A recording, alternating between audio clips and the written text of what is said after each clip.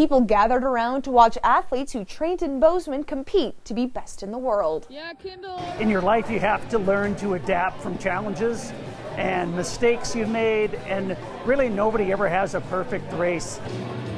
Pool tables at the Rockin' R became extra seating when the Paralympic biathletes took to the track in Beijing. I think it's just a wonderful example of how Bozeman supports their own, comes together. Crosscut Mountain Sports Center is the home base for the U.S. Paralympic Nordic ski team. Think about how difficult these sports are. Nordic skiing, add in biathlon, traveling the world with a ski bag. If you're a Nordic skier, that's bad. If you're a biathlete, you have to take a rifle box.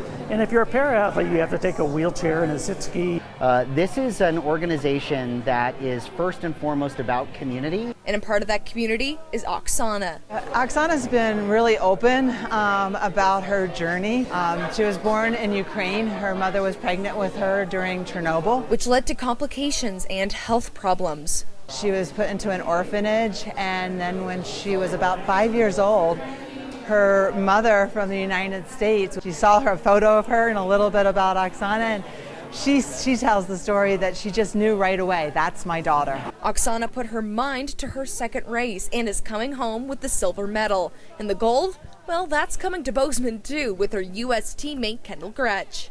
Yeah, Kendall, all right, way to go. What, one thing I am proudest about is making a home for Paralympics. These facilities are very few and far between, so to have a facility where these guys can train is just, it, I know it's instrumental for them, but we love it too. It's a great day for Crosscut, a great day for Bozeman. It's a great day for America.